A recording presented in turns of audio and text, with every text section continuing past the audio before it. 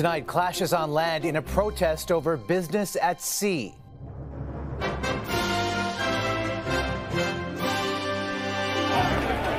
Scary moments in St. John's. Punching horses and assaulting individuals, that's unacceptable. And the calls for a freer fishing industry. Your dictatorship at the moment.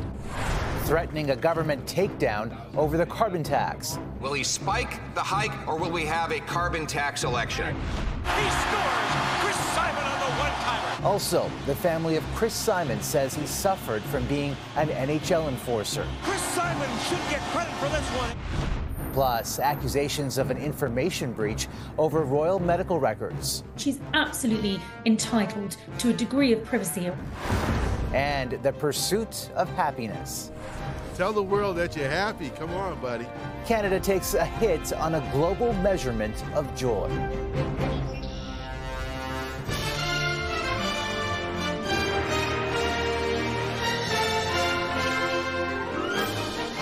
CTV National News with Omar Sachedina.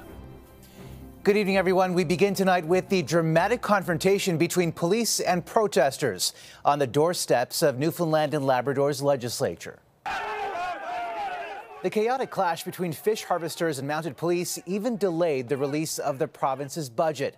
Harvesters are demanding more freedom over who they can sell their catch to and for how much, and want the province to loosen restrictions on what they are calling a cartel. CTV's Garrett Barry leads us off tonight on the tensions.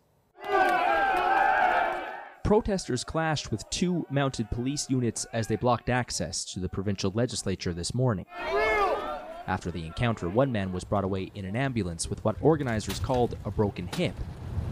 An officer was also injured during what police call a rush.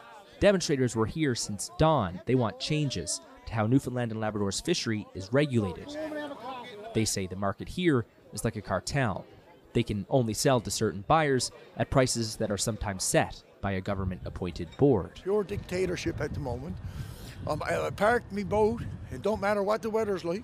I'm told when to go, what to bring in, and, and how much I'm getting paid for it. We need more competition. They protested all morning with one loud argument between a demonstrator and a senior member of the Premier's own staff. Well, you got no respect for us here now by trying to get into our picket line. Around noon, after the province said it would delay today's planned budget speech, protesters declared victory and said they'd be back. Something happened today that have never happened before in the history of Newfoundland. The budget was canceled.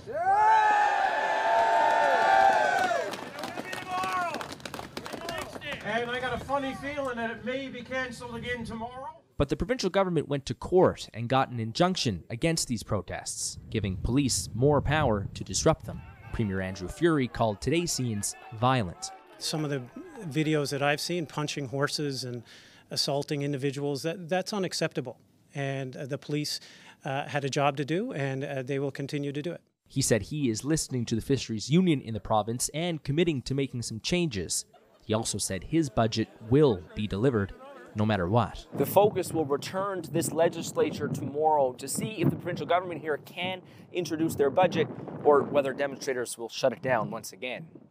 Omar? All right, Garrett, thank you.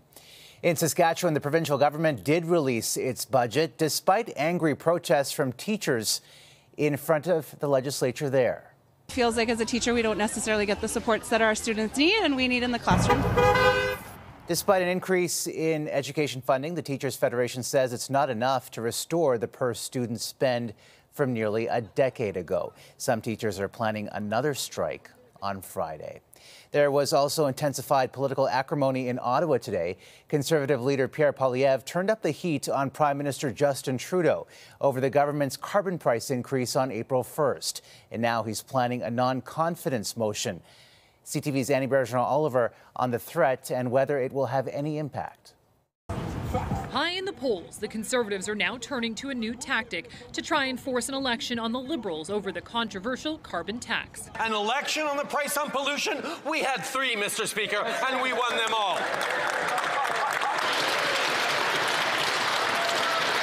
Then he shouldn't be afraid to have one more.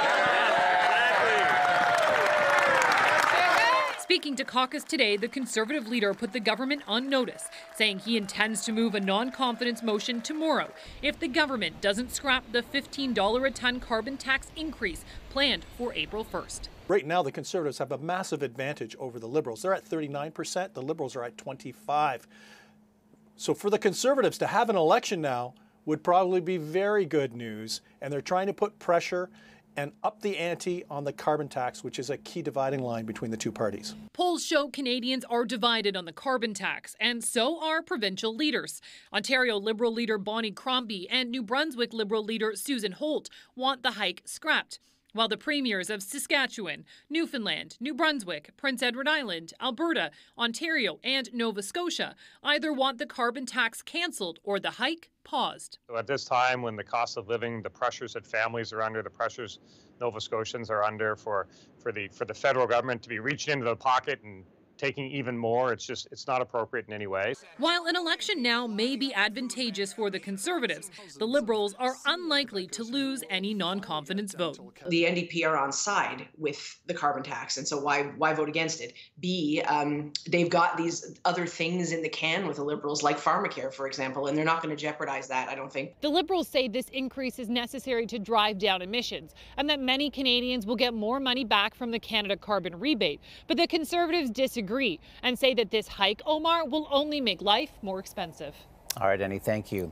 To the deepening cracks in the Liberal caucus now after the watered down NDP motion on Palestinian statehood passed on Monday. One of the most outspoken critics of the motion and one of the three Liberals who voted against it says he has not ruled out crossing the floor to join the opposition Conservatives. I have relationships, and, and, and in the same way my Liberal colleagues are talking to me, um, others are talking to me. Today, the immigration minister said the motion could make it harder for people seeking asylum in Canada to get out of Gaza. But actions of the government of Canada has consequences, and on the particular impact of that program, I don't think that motion is necessarily a good thing. While Marc Miller says the motion was principled, he added it has upset Israel's government. More Canadians had a chance to say their goodbyes on the final day of former Prime Minister Brian Mulroney's lying in state in Ottawa. It was a privilege, actually, to work for him. I wouldn't do this for every politician, but for Brian Mulroney, for sure. He was just a great man. His family attended the public viewing again today, meeting many well wishers. The cortege will now travel to Montreal for a two day lying in repose starting tomorrow morning. Mulroney would have turned 85 years old today. And we will be broadcasting live from Montreal this Friday and again on Saturday for our special coverage of the state funeral for Brian Mulroney, starting at 9 a.m. on CTV and online at ctvnews.ca. The federal government revealed today it has called the Mounties to look into several cases of fraud involving millions of illegitimate payments on federal contracts. Ottawa says they're not related to the controversial ArriveCan app, but have warned they could discover even more. CTV's Michael Couture has the details. Accusations of fraud have led the government to ask the RCMP to investigate IT contractors who worked on federal contracts and allegedly double billed. An internal review found between 2018 and 2022, three individual IT subcontractors charged the same hours to multiple government departments. The alleged fraud netted the trio $5 million and touched 36 different government departments and agencies. This is a, obviously a troubling outcome, something that we would never want to see. The government officials told reporters between five and ten other internal investigations are underway, suspecting similar schemes. Opposition conservatives believe it's a troubling trend. And frankly, um, you know, they, they, need to name names. We, we don't know who has uh, been implicated in this. Now, these latest cases aren't connected to the ArriveCan app, but they do come just weeks after the Auditor General's report revealed a lack of checks and balances in the government's accounting. However, the whistleblowers who raised concerns around ArriveCan say the procurement process is vulnerable. The way that the, these contracts have, have been um, designed, um, it allows um, bad actors to abuse them in ways that are um, discoverable. Now, to better manage subcontracting, the government is setting up a new integrity and compliance office and is asking all managers to take a closer look at third party contracting. Before issuing payment, they will need to monitor and document the delivery of services. The procurement minister says modernizing the process could catch would be fraudsters. Just a few years ago, cross referencing contracts wasn't possible because they were siloed within departments and were often only on paper. Omar? All right, Mike. Michael Couture in Ottawa tonight. An unusual sight on a highway in southwestern Ontario today. A Canadian Forces armored personnel carrier lost control and flipped onto its side on the 401 running through Oshawa, Ontario. Crews eventually got the vehicle back up, and there were no injuries reported. The Biden administration revealed the strictest rules yet in the U.S. for gas car emissions. The goal to push the accelerator on more climate friendly vehicles. The U.S. Environmental Protection Agency says its new pollution standards will transform the U.S. auto industry and cut billions of tons of carbon emissions over the next three decades. By 2032, the White House wants more than half of all new vehicle sales in the U.S. to be electric. Three years later, in 2035, Canada wants all sales of its cars, SUVs, crossovers, and light trucks to be climate friendly. Investigators are trying to determine the cause of a huge pre dawn explosion that destroyed a house in central Utah.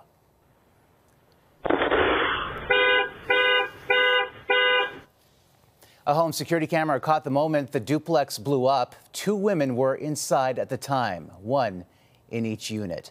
One escaped with minor injuries, the other did not survive. And a beloved clubhouse at a seniors community in a Philadelphia suburb was destroyed after a fast moving fire destroyed the recreation center. Fortunately, no one was injured. The hockey world is grieving the sudden loss of former NHLer Chris Simon. Tonight, his hockey family stood by his side as they paid tribute to the enforcer. Our entire organization extends our deepest condolences to his family and his friends. Now, please join us in a moment of silence as we come together to remember and honor the life and legacy of Chris Simon. Chris Simon was honored right before the Toronto Maple Leafs and Washington Capitals game tonight. His family says the 52 year old died by suicide and believe repeated traumatic brain injuries played a major part. Here's CTV's Adrian Ghobrial. Chris Simon should get credit for this one. Chris Simon's hockey journey is one that's all too familiar. Chris Simon on the one-timer. Born in a small town, he achieved his NHL dream as a fierce competitor he became a Stanley Cup champion, only to have his life cut tragically short. On Monday night, Simon was pronounced dead. A statement released today through his former agent reads The family of Chris Simon regretfully announces that Chris died by suicide, going on to share that the family strongly believes and witnessed firsthand that Chris struggled immensely from CTE, which unfortunately resulted in his death. How many people have to die before somebody thinks it's important enough to, you know, stop it. Dr. Carmela Tartaglia has studied the donated brains of deceased athletes. She believes it's completely plausible that Simon suffered from CTE. It's really important to understand that a concussion can lead to significant neuropsychiatric symptoms, and those can set you up for suicide. Years of research has uncovered that repeated head injuries can lead to the progressive degenerative disease known as CTE nearly every professional sports league has acknowledged that relationship as a medical fact. Everyone except the National Hockey League.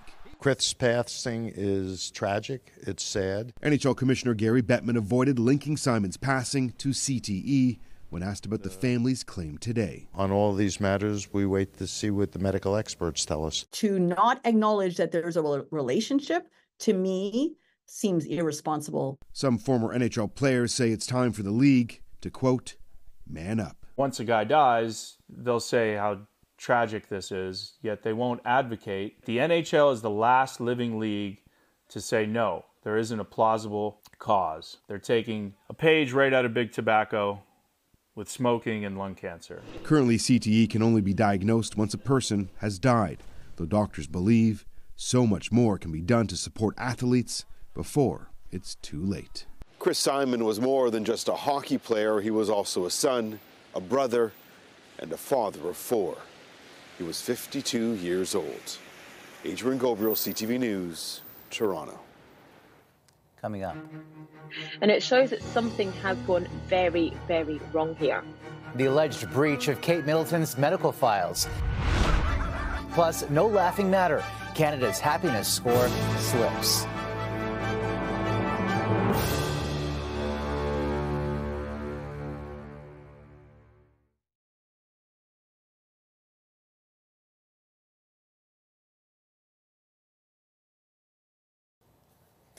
Ireland's Prime Minister Leo Varadkar dropped a political bombshell today, announcing his sudden resignation. My reasons for stepping down are both personal and political. Varadkar made history in 2017 as the country's first openly gay leader and the youngest when he was just 38. He said his reasons for stepping down were personal and political, and he believes his party stands a better chance of re election with a new leader at the helm. New developments in London tonight involving the Princess of Wales. British authorities confirmed today they are investigating after a report an employee at the London clinic, the elite private hospital where she underwent abdominal surgery, was trying to access her medical records. CTV's Joy Malbon on the alleged security breach. Another day and another Princess Catherine headline. Now it's a police matter at the private London clinic where the princess underwent abdominal surgery in January and stayed for two weeks. Multiple sources are reporting staff members tried to access her medical records. The Information Commissioner's Office confirming we have received a breach report and are assessing the information provided we're being told that three staff members are being investigated for trying to access the private notes of the Princess of Wales. But they take any of these breaches very, very seriously. It's the latest twist in this royal saga, made worse by that digitally doctored photo and wild conspiracies since she's been out of sight. Even this weekend video reportedly of Kate and Prince William out shopping has not stopped the speculation. And when you've got this real hunger for, to, to, to find out what's going on, then you will find people who are willing to try to satisfy that, that hunger by trying to access information that, that they really don't have any business looking at. Princess Catherine has reportedly been told of the breach, the fear of a leak of her most personal and private medical condition, yet another blow to the princess and the palace we're not going to get the complete medical report or breakdown. And, and, frankly, I think most sensible people would think, well, why should we? Yes, she's the Princess of Wales, but she's absolutely entitled to a degree of privacy around her private medical matters. The London private clinic pledging tonight to take all disciplinary action. It's a serious violation, says the British Health Minister, that could include fines and criminal prosecution. Joy Malbon, CTV News, Washington. Still ahead. We know that flavors are one of the primary reasons that young people start using these products, and one of the main reasons that they keep using the products. Going up in smoke, the ban lighting up debate in New Zealand.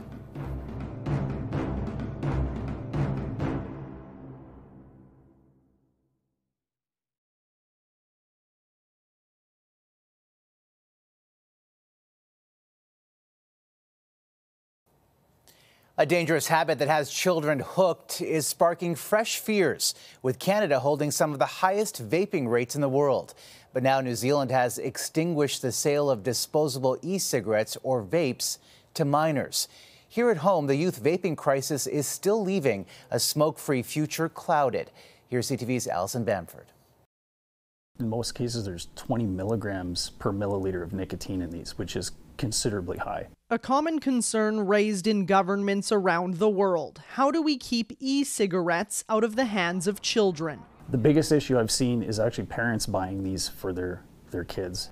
Now, New Zealand is setting the tone, announcing a total ban on disposable vapes and hefty fines for those who sell e cigarette products to anyone under 18. We recognise that vaping got away on us and it became very attractive to the demographic. We definitely don't want to start vaping, and now we're left with, um, you know, how do we tighten that up? A move health experts and some Canadian vape shops would welcome here. They're a waste of money and they're horrible for the environment. It's the easy access and high appeal that have health experts worried. The potential for their long term addiction uh, is highly concerning. Disposable e cigarettes are legal in Canada, but a handful of provinces have banned flavored vaping products. The Canadian Lung Association has long asked for the federal government to follow suit. We know that flavors are one of the primary reasons that young people start using these products, and one of the main reasons that they keep using the products after they start. Some vape shop owners believe a ban on flavored products could decimate businesses. In 2021, Health Canada proposed regulations to restrict flavors. They're still looking to advance these measures, but have not provided a timeline. Allison Bamford, CTV News, Regina. After the break, the generational gap.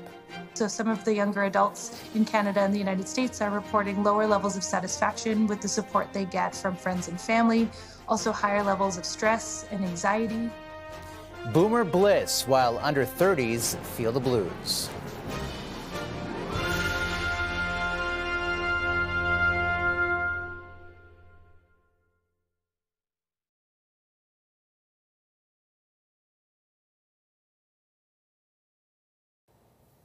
How happy are you? Well, some countries have a rosier view of the world than others. Canada, by comparison, has slipped in the rankings on the Global Joy Index and is grappling with a dip in spirits. CTV's Sarah Plowman on the generational divide. There's no shortage of smiles in this toddler's world, and dad is along for the ride. Being being able to come out and play and have a good time and being with family. Tell the world that you're happy. Come on, buddy. Happiness summed up for one family. A global snapshot of happiness shows once again Scandinavian countries lead.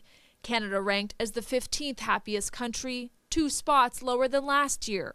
The United States fell to 23. In North America, boomers are happier than millennials and Generation Z.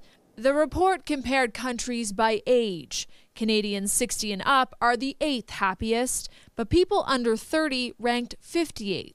So, some of the younger adults in Canada and the United States are reporting lower levels of satisfaction with the support they get from friends and family, also higher levels of stress and anxiety. Vance Foreman is just shy of 30. He's optimistic but faces financial challenges. Gasoline going up is obviously something that's kind of uh, weighing on my mind a little bit. Um, buying a home also, um, I've been trying to save for what feels like ever. Those behind the report also blame social media. And how young people connect with each other and form their views about life uh, via the social media. A virtual connection, researchers say, is isolating. There is also the fact that many people, from not exercising their social skills, have now developed social anxiety. Back at the park, they're absorbed by a play day. A bright spot, despite the clouds. Sarah Plowman, CTV News, Fredericton. That kid could make anybody smile. And that's a snapshot of this Wednesday for all of us at CTV National News. Thank you for watching. Good night and see you tomorrow.